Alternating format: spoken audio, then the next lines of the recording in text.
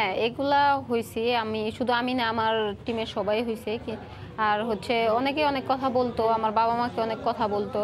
তো আমার বাবা মা আমাকে মানে আমার মা আমাকে অনেকবার বাধা দিছে খেলতে না যাওয়ায় এবং কি আমার বলও কাইটে ফেলাইছে সাথে।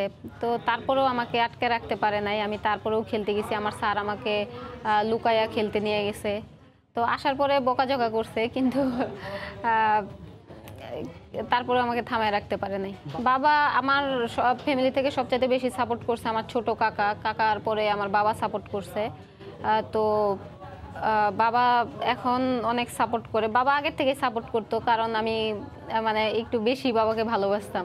এই পরিবার, শুধু পরিবার যে তা না সারা বাংলাদেশকেই বলবে এবং কি বিশেষ করে আমার যে টাঙ্গাইল এবং কি গোপালপুরবাসী আছে, তাদেরকে বলব যে তারা আমাকে প্রতিনিয়ত ফোন দিতেছে।